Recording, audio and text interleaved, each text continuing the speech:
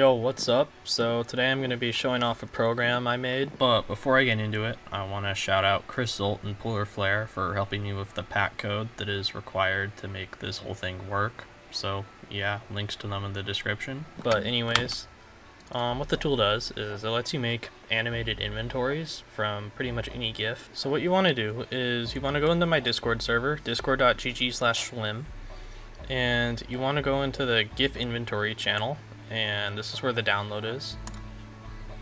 And I'll also have a GitHub link showing off the program's code. So now that we have the program, we can select a GIF file, and if we want, we can put in an overlay, and if we do, we need to make sure to check the box. Then once we have our settings that we want, we just click the button, and it'll create the pack in the same folder that the jar is in. So since it's in the desktop, it'll create the pack in the desktop. So now let's import the pack. Okay, so now that we have the pack equipped like normal, we can just go into a world. And now that we're in the world, just open our inventory, and here we have a animated inventory.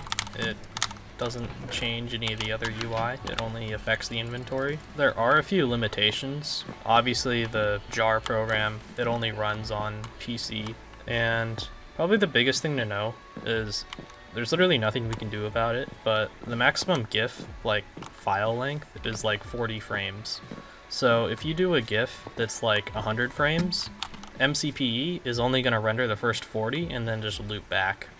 Like, and like, there's a technical explanation because we do it with a flipbook texture, and basically more frames equals bigger flipbook texture. And if it gets too big, MCP just can't load the image and the game crashes. So yeah, kind of too bad, but it's whatever.